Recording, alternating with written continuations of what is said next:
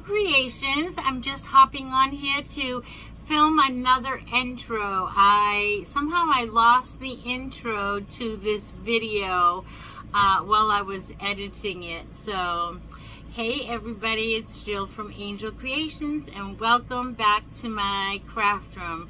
I hope you enjoy the rest of this craft. Bye now. Okay, so now that I have all four of my frames empty and they are just left with the glass in them, I'm not going to be staining them or doing anything to them because I really love the wood uh, finish that they already have on them. But I am going to be using some E6000 and hot glue. I am trying to grow these bangs out and they're just not long enough yet to stay back. And I don't have a hair clip. But look, this is that little Dollar Tree um, hair scrunchie that I got and it matches my shirt. I don't know if you can tell on here. Alright, so what we're going to be doing is, and it is a hot one, so not only is my hair bugging me, but it's really, really hot and I'm getting sweaty out here. Real life. Alright, so the first thing that we're going to do is we're going to glue two of these pieces together. So I'm going to use a combination of some E6000, which we'll put down first, because that dries last.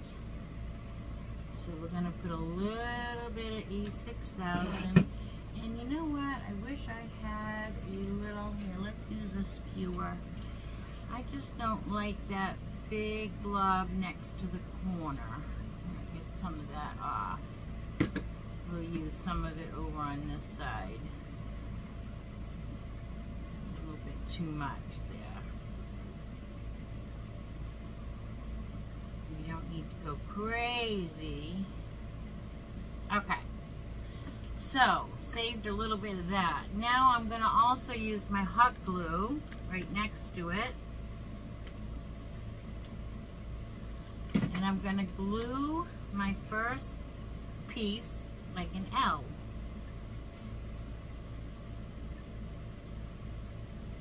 And we're going to try not to squish glue out of the side seams, but if it does, just wipe it with your finger.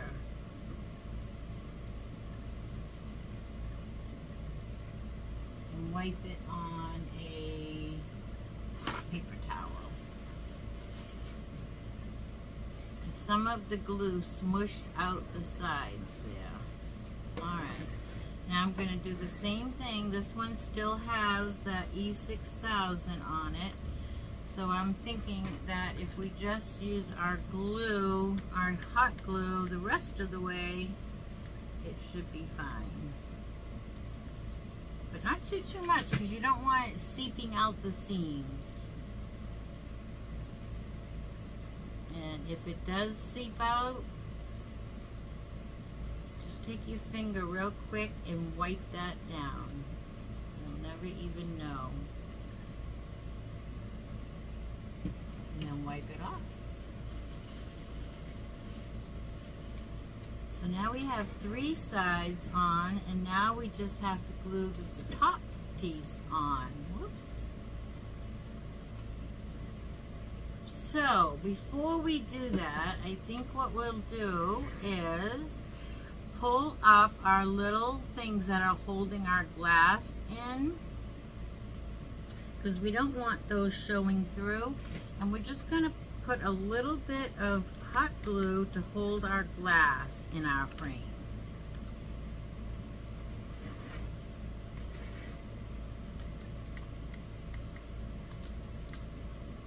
Just a little bit of hot glue.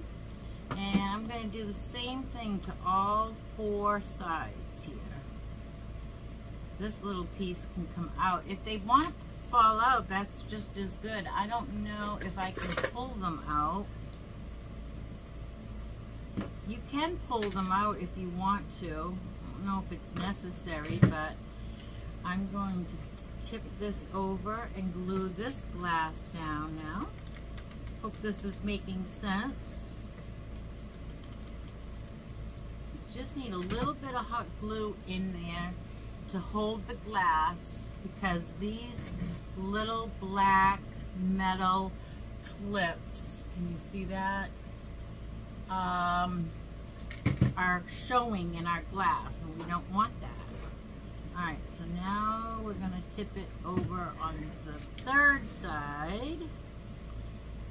See if we can pull this one out. If it comes out easy, great. Alright, so they're coming out really, really easy, so might as well just take them out. Oh, we weren't glued in yet. Real.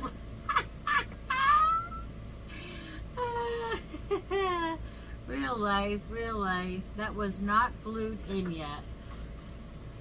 Moving, moving faster than our uh, glue. moving faster than the glue. So I got a little bit of glue on that side, but that's okay. Get the glue cobwebbies off. All right, and then while we're waiting for that, we'll take these pegs out. And they might be a little tough. Nope, they came out really well. So I just want a little glue on this third piece here. Just have to hold my uh, have to hold my glass in there. All right, so much easier if you do this step first. So here is our frame here are the black things that we are trying to get out of there so that they don't show through. So easier to do this before you assemble. So take those little black clippies right out, easy peasy, and then give your glass a little bit of glue to hold it in your frame because you don't have those black things holding it in now.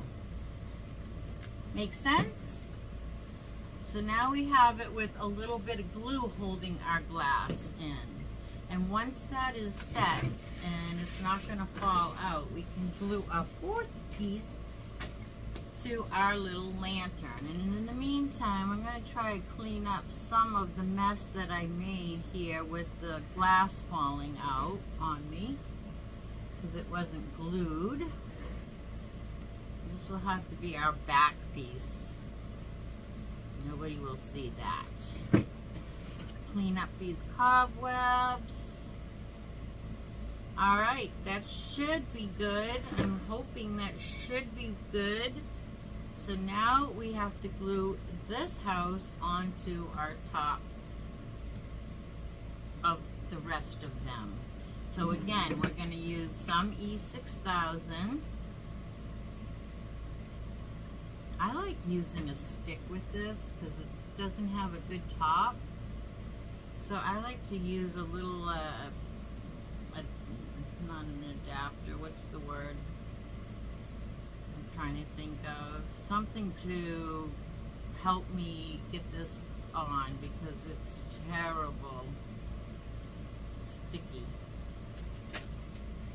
Terribly, terribly sticky you know, just something to help you get it where you want it instead of your fingers. Alright, that should do it. I'm going to put my top on here real quick. Wipe this off real quick. Stickler for my glues. I'm hoping this video isn't going to be too lengthy. Um, okay, so now we need a little hot glue. where we didn't put E6000. Let's just glue this baby right on top. And again, if you squeeze any glue, just wipe it off. And then wipe it off your hand. Alright, so now we have like a little cute greenhouse kind of little house going on. We're going to let that sit up really, really good. And I'm I had two wooden blocks from the Dollar Tree. This comes in this comes in a package of like six or eight. They're just thin planks. And this comes by itself. This is a dollar twenty-five. And I didn't know which piece I wanted to use as a bottom piece. So, I, I still haven't decided yet. And then I have um, this glass candle jar from the Dollar Tree. Um, or I almost used this glass ring from the Dollar Tree. All of these, oops, all of these would work. Any little glass candle jar that you have will work. I'm going to put you on pause for a second. I'm going to let this um, dry and get a little bit more secure before I handle it and we'll be right back. Okay, so this is pretty good. I mean, I wouldn't play football with it or anything yet. I don't think we are going to need our glass pieces after all. I mean, you can use it if you want, but I'm thinking I'm just going to make a little candle ring for inside and use it without because we have our glass windows here. This is a candle, no, no. This is a napkin ring from Hobby Lobby. I think originally they're like $4, but I get everything on half price. I wait. But that's just a uh, napkin ring actually. And we're going to use that. And um, so we're going to just skip excuse me, I have the worst frog in my throat lately. I think it's um, coming back from New Hampshire after being there for so long. I think I came back and the allergies in Florida are driving me crazy post-nasal drip. I got the sneezes and the sniffles. Um, um, so I'm going to omit this from the project, but feel free to use that if you want. And then I decided to use my bigger block from my two pieces of wood. And I'm to cover that in Waverly. But before we do that, I want, well actually, I, I, guess we'll do that first because that way it can be drying while we make our little wreath.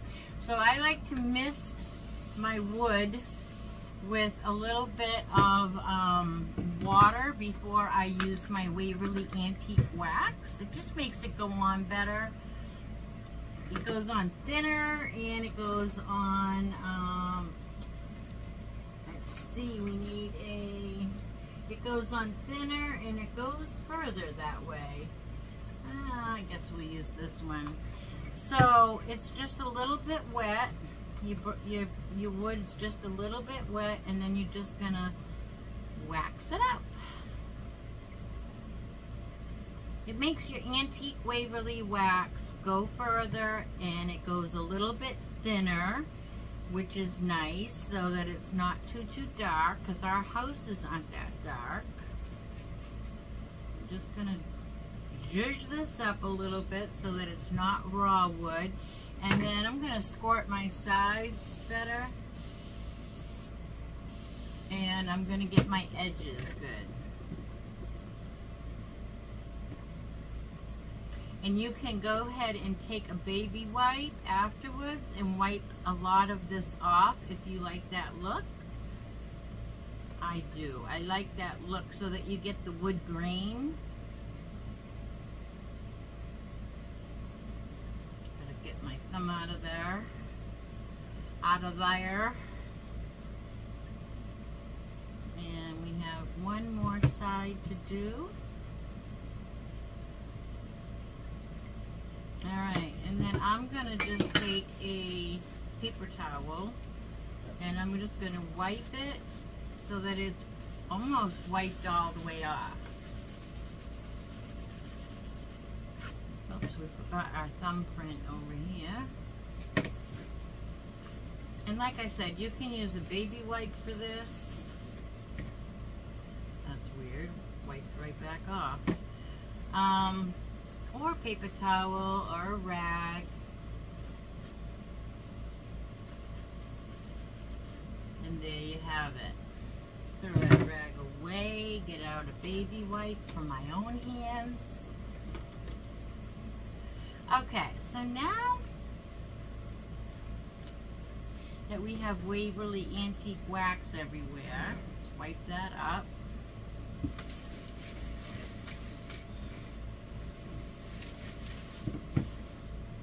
Okay. Now we'll let a little bit and we're going to work on our little wreath that's going to go around our Dollar Tree candle.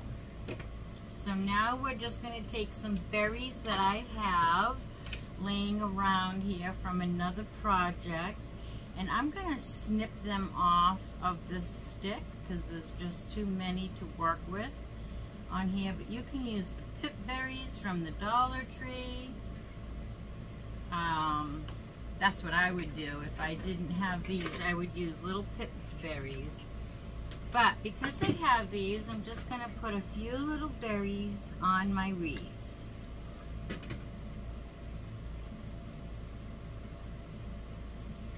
And what I'm going to do is try to work across from each other. So I just put some there. Now I'm going to take another stem put some on this other side. I'm going to cut this excess off though. I just want a little bit of these berries to show through the glass. And these are on a wire so you can bend them. The same with the pip berries from the Dollar Tree. So once you place them, uh, if you don't like where you placed it, you can bend it and put it someplace else.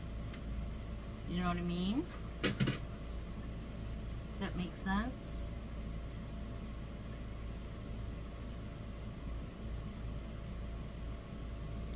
One more berry ought to do it. Let's cut this one a little bit shorter. Cut this one right off at the top here. And we'll put that one right here.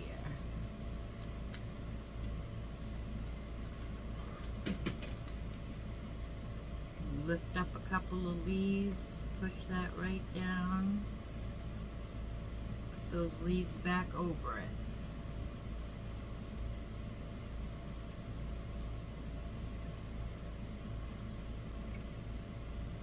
I'm just turning these all to go in the same direction. Put that off. Actually, we've got a little piece of wire. I'm just going to wrap it around my pencil and make a little tendril out of that. And I got another one right over here. I'm going to do the same thing. Just wind my pencil right around that wire and make a little tendril. Like a berry vine would have. Alright, now I want to put this wreath on my wooden plank that we have antiqued up, but it's probably not dry yet. So let's give it a little quick blow dry here. Love this heat gun. It is one of my favorite tools in my whole craft stash. Um, I'm not going to worry about the sides as much as I am the top because I want the top dry enough for some glue. But this is always in my description box below and it's one of my favorite tools. It's like a 12 or $13 tool from Amazon and I'll always have the link to it in my description box if you are ever interested in it. I have several of them actually. And I think that feels pretty dry. Give it a little fan real quick. A little fan. Alright, so now I'm going to pick which side of my little lantern is my front and which side, oh you know what, we got a little bit of glue that came through the seams over here and I said we'll clean that up later so I'm to take a pliers and just pinch off some of it And then I'm to just sand the rest of it down. We don't want to see glue go up there. So I'm just to glue that, uh, just sand that down. All right. So now I think I will take my house and I think I picked this for the front. So now I'm going to glue this onto my wooden plank here, but I want to draw the corners so I know where to put my, I'm going to center it, and then I'm going to, I'm trying to figure out which way I want it. I think I like it better this way. So I'm trying to center it up, and then once I feel like it's centered, I'm going to trace it with my pencil. I think that looks good. And that'll show me where to put my glue. Because I want to use a combination of E6000 again and hot glue. And we see that? Or you could use wood glue too. Um, what did I do with my E6000? Do you guys see it?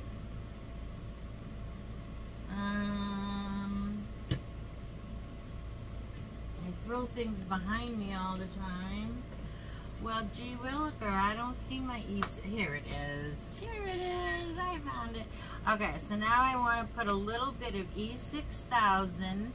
I'm going to put E6000 on my corners. And then I'm going to put hot glue. I lost my little skewer.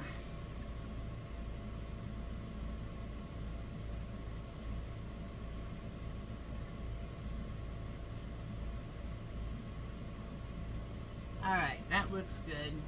Now, I'm going to take some glue and I'm going to go right down these lines where I drew with my pencil.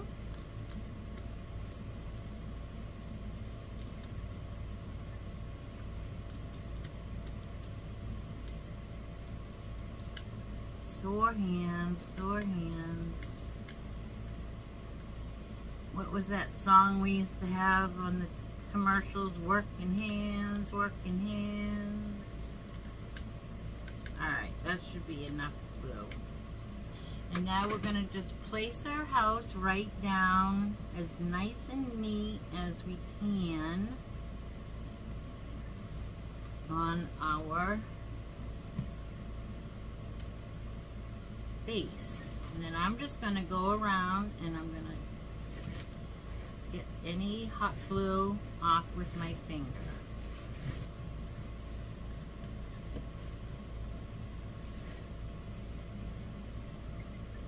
It's hot, but it's what we crafters need to do. I'm just going to wipe it on my rag.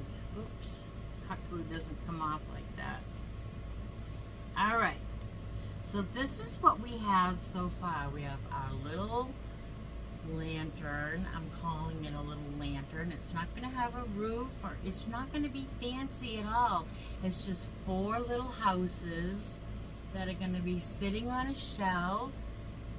You got to clean your glass better. And like I said, do your glue in your houses before you build your little house here. And then we're going to take our little wreath that we put berries on we're just going to stick that right down inside our little lantern. Let me pull that up because some of my little berries are going inside where my candle has to go. So let me move those out of the way. So cute. Love this get our little tendrils showing. All right, I'm to try, I'm to put my little light on. This little light of mine. Dollar Tree little light. You see that? And it flickers. It's so cute. I'm to put that right down in my wreath. I'm holding both together. And I'm just to shove that right down inside my little lantern. How cute. And now, without dropping it, I'm going to try to show you. Can you see our little light in there? Here, I'll do it this way.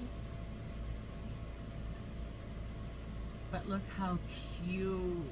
You see how cute that is? That's going to be really cute at nighttime. If you want, you can put this little light on a Jenga block. Um, but I am just really happy with the way this came out. Just as cute as can be. Just as cute as can be. All right, well, this is a great time for you to give me a thumbs up, and sharing is caring, so go ahead and share this video with your friends, family, and social media. And uh, go ahead and hit that subscribe button. It's free to do so, and if you ring the bell, if you want to know every time I upload a video, hit all. If you don't, don't bother hitting that bell. That's okay. You can catch me on the replay.